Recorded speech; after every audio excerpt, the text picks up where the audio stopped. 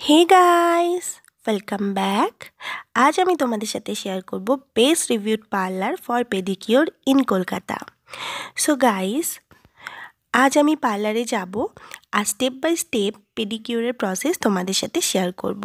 এই পার্লারের লিঙ্ক আমি নিচে ডেসক্রিপশন বক্সে দিয়ে দেবো। তোমরা দেখতেই পাচ্ছ কত ডিফারেন্স হয়ে গেছে আমার পাটা। আগের পা কীরকম ছিল আর এখনেরটা দেখ। তাহলে চলো, আজকের ভিডিও স্টার্ট করা যাক। সবার প্রথমে ওরা আমার নেল পলিশটা রিমুভ করে দিল রিমুভার দিয়ে।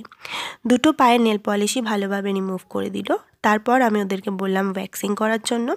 কারণ পেডিকিওর করার আগে ভ্যাক্সিং করাটা খুব বেশি ইম্পর্টেন্ট এতে আমাদের পায়ের ট্যান রিমুভ হয়।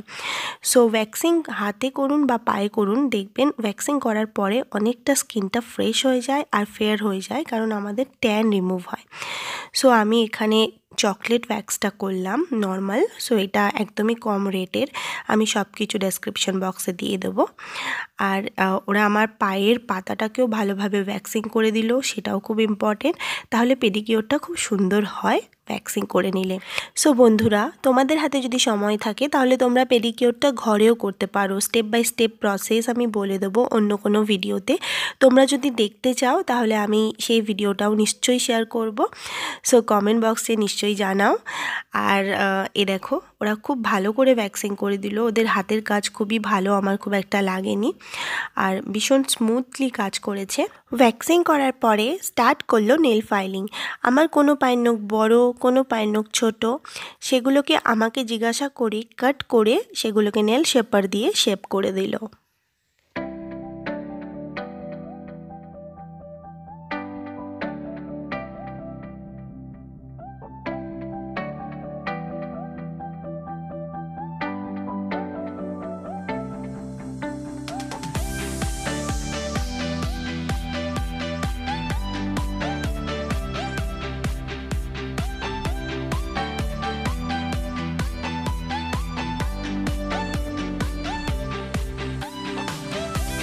নেক্সট আমার সামনে একটা পেডিকিওর মেশিন দিয়ে দিল, যেটার মধ্যে জল আছে আর সামান্য শ্যাম্পু দিয়েছিল। ওটা জলটা গরম হওয়ার জন্য রেখেছিল।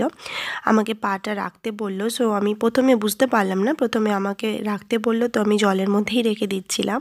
তারপরে বলল, না ওপরে রাখতে। আর ওরা আমার পায়ের নখের মধ্যে পেডিকিওর ক্রিম লাগিয়ে দিল। সো অনেক বেশি বেশি করে ক্রিমটা লাগিয়ে দিল। তারপরে বলল, এই গরম জলটার মধ্যে পাটা চুবিয়ে রাখতে। জলটা দেখে মনে হচ্ছে ফুটছে খুব গরম, কিন্তু তা নয়, জলটা মানে যতটা গরম সহ্য করা যায় ততটাই গরম।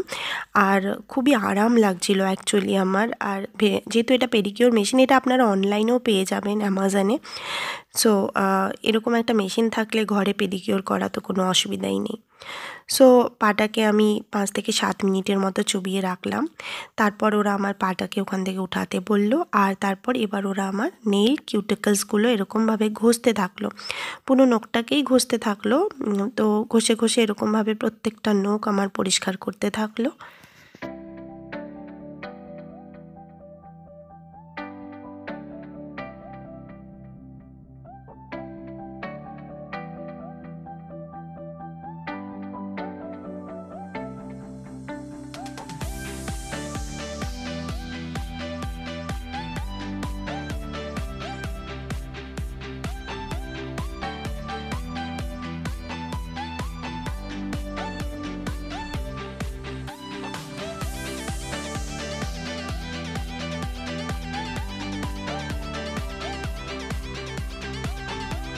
তোমরা দেখতেই পাচ্ছ, আমার নখের সমস্ত ময়লাগুলোকে বার করে দিল। এবার আমার স্কিনের যে ডেড সেলগুলো আছে, নখের ওপরে ওপরে ডেড সেল থাকে, সেগুলোকে কাট করছে।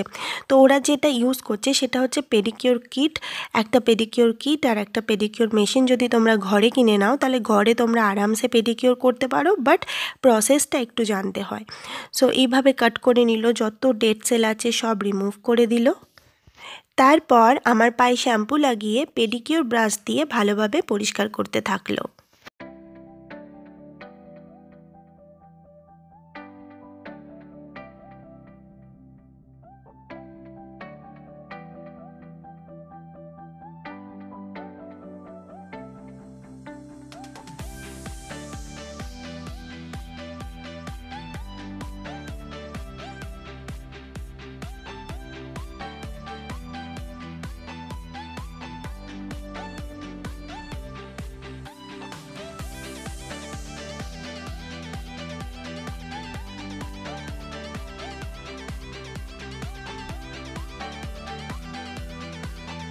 এবার আমার পায়ের তলার ডেড স্কিনগুলোকে রিমুভ করতে থাকল এরকম ঘষে ঘষে। যেখানে যেখানে ডেড স্কিন আছে, সেখানে ওরা ঘষে ঘষে রিমুভ করে দেবে।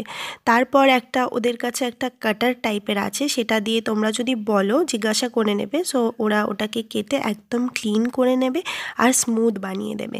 সো আমি বললাম হালকা করে ওটাকে করে দিতে, বেশি প্রেস করতে না। সো ওরা হালকা করেই ওটাকে করে দিল। এগুলো সব পেডিকিও সেটেই তোমরা পেয়ে যাবে। এই স্টেপটা করার পর আমার পাটাকে একটা পাথর দিয়ে ঘষতে থাকল।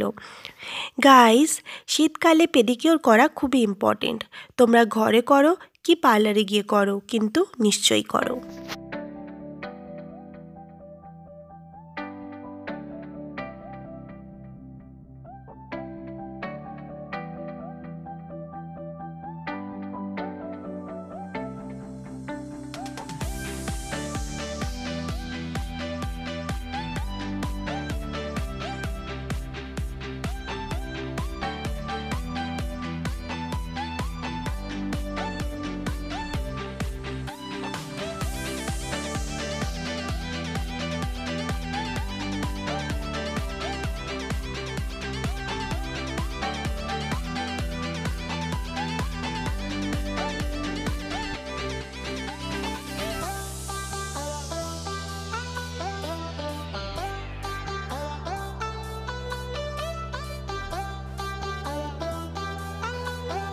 নেক্সট আমার পাটাকে ক্লিন ওয়াটার দিয়ে ওয়াশ করে নিয়ে এবার শুরু হলো মাসাজ পার্ট তো আমার পায়ে একটা ময়শ্চারাইজার লাগিয়ে ভালোভাবে মাসাজ করতে থাকল।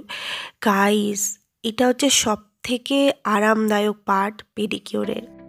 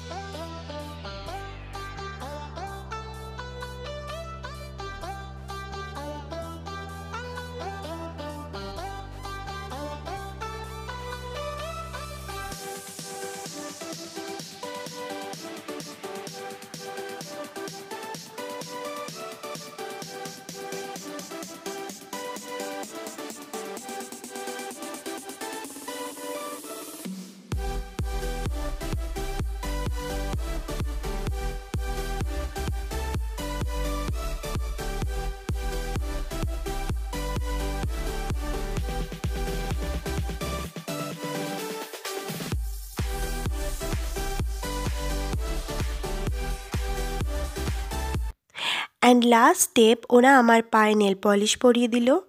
And guys you can see the difference so তোমাদের যদি আমার এই ভিডিওটা পছন্দ হয়ে থাকে, তাহলে ভিডিওটাকে লাইক করো আর বন্ধুদের সাথে অবশ্যই শেয়ার করো। আর যারা এখনও আমার চ্যানেলকে সাবস্ক্রাইব করনি, তাড়াতাড়ি সাবস্ক্রাইব করে নাও এরকম ধরনের আরও ভিডিওর আপডেট পাওয়ার জন্য। আবার দেখা হবে নতুন ভিডিওর সাথে। ততক্ষণের জন্য বাই